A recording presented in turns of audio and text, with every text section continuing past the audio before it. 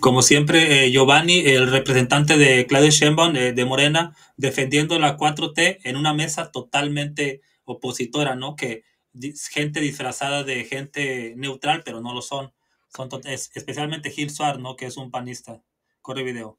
Sí creo que, el, tema de los, vínculos de narcotráfico es cosa seria. Yo creo que sí debió haber el presidente una postura con más seriedad. Si hubiera respondido, le pido a la fiscalía que abra una carpeta y que ah, investigue y que se pronuncien así. No voy a, no voy a especular. Pues y, fin de listo. ahora ya dijo, pues ahora le voy a exigir a Estados Unidos que diga si hay una investigación en mi contra. Y, los mensajes, ¿no? La visita con el embajador chino. Exacto, pues con, la, rusa. Con la rusa pues, los este, rusos desfilando aquí. Y ahí te van, ahí te, te suelto migración. En fin, yo, yo creo que el presidente sobre eso, ¿no? Parece que le duele. Yo, veo Pues claro que duele. Están intentando manchar un legado. es política.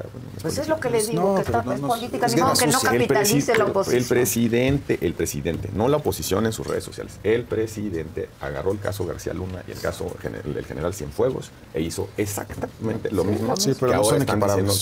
bueno, quita el caso de García Luna, el general Cienfuegos una supuesta revelación de un narco de, un, de un narco de segundón que se escribía con el, con el general secretario en una BlackBerry con faltas de ortografía y el presidente dio por buena esa versión. En la mañanera. Pasaron los chats, los supuestos chats, donde le decía, este, se daban instrucciones. Él, ahí sí, el general secretario, jefe de la inteligencia militar, se chateaba con faltas de ortografía con un arquillo de segunda monta, de segunda monta en Nayarit. A eso, a eso dio veracidad el presidente de la República el presidente López Obrador es el, político más investigado de la historia. No se le ha encontrado no nada. Que es el político más vivo que tenemos, más vivo, vivaracho. El mejor político, ni, cuentas ni líder social. Ni cuentas tiene, ni paga impuestos. Ni registro en el buró de crédito. ni, registro fiscal tiene. Ni tarjetas de crédito, nada. No necesita una CFDI porque no, es un fantasma fiscal. No es algo que en lo personal aplique ni comparta. Sin embargo, hay mucha gente que vive así en nuestro país. Qué mal. pero no el muchísima gente. Pero el presidente pues sí, ya tiene que tener RFC. ¿Cómo viven así? Pues los de la economía informal, Giovanni, no, el presidente. Ahorita sí tiene RFC el presidente, ¿no? Pues si no, ¿cómo cobra? No, sí tiene.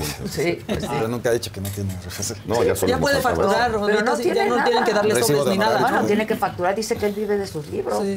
Yo, yo y pues para venderlos hay que tener Yo creo que eso... Que por cierto hay que leer el último. Está sí, le insultó a Xochitl. Dijo Ladina, eso es bien clasista. Decirle Ladina a alguien es bien clasista. Yo creo que lo dice otro concepto. Y... No, no, ladino es ladino. Sí, el ladino es muy medieval. Muy, y peyorativo, no, no es piropo nunca. Es como culero.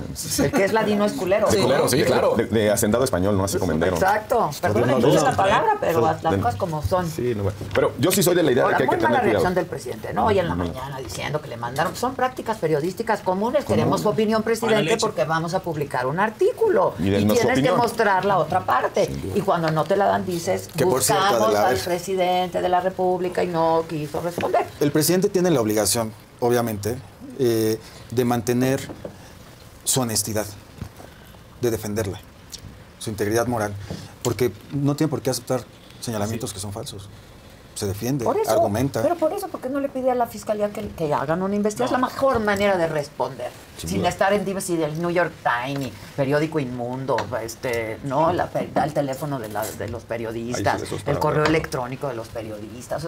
Eh, fíjate la, contradicción. En el registro de, la, de, su candidatura, yo creo que Claudia tiene un buen discurso. Yo también. Un gran discurso. un discurso dice, bueno, este país es para todos. Pero lo saca lo otro. Este país es para todos, este, aquí no va a haber divisiones y tal. Y yo hasta dije, ahora viene de buena anda de buena onda. Termina el, termina el evento hipócritas corruptos a una parte de la sociedad, como si no fueran pueblo, como si no fueran mexicanos, como si no tuvieran derecho a, expresarse acá Este, vuelve, vuelve, vuelve al guion del presidente. sacrifica el momento de mandar un mensaje de, sobre de qué se trata su proyecto, repitiendo las descalificaciones del presidente de la República. Mal. Bueno, tanto la candidata como el presidente no se refieren en esos términos a la gente. Se refieren a los organizadores de la marcha, los que de verdad están detrás de eso, que son los mismos, los que supuestamente hoy marchan por, por esas instituciones, son los mismos que hace un par de meses se repartían esas mismas instituciones en un acuerdo, en el acuerdo de Coahuila. Sería bueno que convoquen ellos a apoyar a Xochitl. Que no engañen a la gente con supuestas causas justas, porque son los mismos que promovían fraudes electorales. Esa misma gente que, compraba votos, que se robó la elección de 2006 y cualquier cantidad. Son es la misma gente. Es el mismo presidente del INE que salió de su cargo y se fue a meter a Latinos. Y que seguramente es parte de la campaña de Xochitl Gálvez. Pero a mí me encantaría que la oposición se pusiera ese reto de que no lleven a la gente con engaños al Zócalo. Digan, vamos a apoyar a Xochitl Galvez. Así como el primero de marzo todas y todos vamos a ir a apoyar a Claudia Sheinbaum al Zócalo. Abiertamente a eso vamos. Yo fui a la marcha. por eso, tú fuiste por el tema de las instituciones. A mí no me habló Claudio X González para ir y llevar a mis hijos. ¿Por qué los llevé?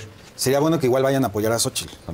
A ver si llenan el Zócalo igual. Por eso, quiero ver que lo llene igual, aunque sea pues la Alameda. Si ya no, entendí si esto es por Porque están queriendo capitalizar un movimiento. Te voy a decir cuál es el problema. Que no se avergüencen de lo que son. Te voy a decir cuál es el problema. Que se presenten. Es que hay, hay, una... No a la ciudadanía, no, a los organizadores. no, es que sí es una descalificación a la gente que salió. Es que solo puede haber marchas, manifestaciones, concentraciones, expresiones ciudadanas si vienen de Morena. Todo lo demás es corrupción, todo lo demás son hipócritas, todos los demás. Un ciudadano que va y dice, a mí me hace sentido lo que estoy escuchando de que mi democracia puede estar en riesgo, se levanta temprano el domingo, se va a la marcha, esos no tienen legitimidad moral para ustedes. El orador de esa marcha, de, esa concentración, dos puntos. Primero, en el templete dice que la democracia está en riesgo. Baja y parafraseándote tres doritos después, dice en una entrevista, la democracia no está en riesgo. Pero dicho sea de paso, para la gente que no se acuerda, es la misma persona que se burló y fue despectiva de las comunidades indígenas. Ya, por favor. Es que es la misma persona. A él vamos, Yo quiero ver que Tú pases la prueba de fuego de una llamada privada, una conversación privada. Y sacada de contexto. y, sacada de contexto. y sacada de contexto. de verdad. ¿Pero qué contexto? Es lo, único que, se, lo único que se agarran en contra de Lorenzo Córdoba. Estuvo mal, ofreció disculpas, se expresó mal, muy es una mal. intervención en una, llamada privada. Se pinta el cuerpo entero. Pues insultar a alguien diciéndole la Dina también pinta de cuerpo entero. Y ese no es una filtración. Y no es una filtración, es algo publicado voluntariamente. Yo creo que el, problema, eh, si, hay, si hay gente que se, sale, sale de su casa, se expresa, se manifiesta, que no sean los de Morena, son borregos, autómatas, empleados de Claudio X González, este, tontos útiles. Sí, yo, yo, creo que aquí eh, es que faltan muchas cosas por añadir en este rompecabezas. Obviamente Giovanni está muy solo, todos se le van encima. La misma dueña del programa se le va encima.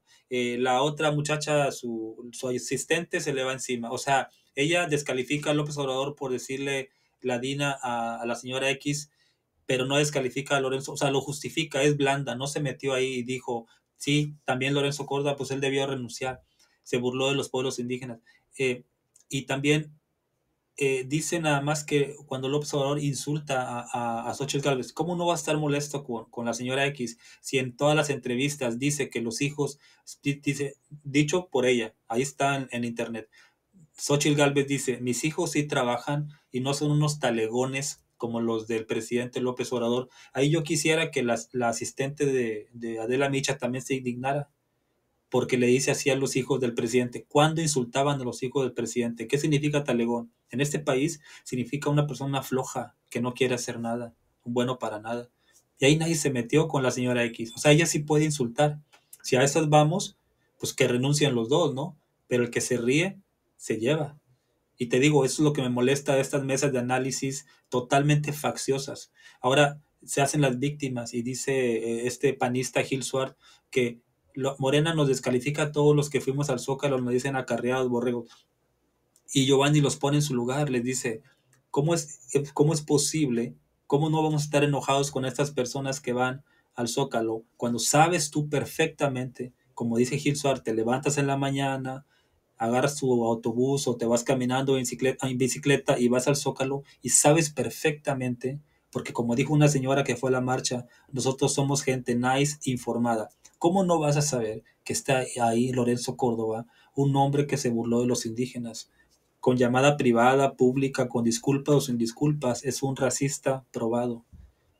Entonces, claro que es una, es una polarización que hay en el país y como bien dice Claudia Sheinbaum, al decir que son hipócritas, claro que sí, porque quieren un mejor país, pero escuchando a un racista en el templete. Entonces tiene razón, tiene todo mi apoyo Claudia Sheinbaum. También tiene todo mi apoyo López Obrador cuando dice que dice Adela, es que el presidente debió hacer esto y le da consejo. No, no, el presidente no necesita consejos, como dijo Gil Suárez, es el presidente más vivo que hay. Es muy inteligente y también el más atacado, como dice Giovanni. El presidente López Obrador le dice al New York Times, no te voy a demandar, no te voy a hacer nada, nada más te voy a poner en tu lugar, porque es muy mala leche lo que estás haciendo en plena campaña electoral si ya parece que en Estados Unidos le van a tirar periodicazos en pleno campaña electoral a un presidente. Y te digo, eh, es muy mala leche lo que hizo el New York Times porque ya lo dijeron periodistas serios, solamente dijeron supuestamente López Obrador este, está ligado al crimen organizado y cómo no va a calentar, como dice Giovanni, cómo no los va a poner en su lugar. Y todos se, rompieron las vestiduras, Jorge Ramos, Ciro y Azucena, por eso le digo mercenarios, se enojaron con López Obrador. Ahora entiendo que también esta señora Adela Micha se enojan con López Obrador por revelar el teléfono que ya era público de la periodista, pero nadie se enojó con Xochitl Galvez por llevar un dron, tomar un avión e irse a Houston a decirle a todos los mexicanos dónde vivía el hijo del presidente. Que eso no es este, divulgación de información, eso es inmoral lo que hizo Xochitl Galvez, pero nadie le dijo nada, porque ella siempre sale con la suya en estos medios paleros, mercenarios, que siempre están directa e indirectamente a favor del PRI del PAN. Por eso nosotros somos la mayoría y por eso vamos a, nosotros marchamos simbólicamente, los que no podemos ir al Zócalo, marchamos simbólicamente el, el primero de marzo a apoyar a Playa de Shema. Esa fue mi opinión. Dime qué opinas. Hasta luego.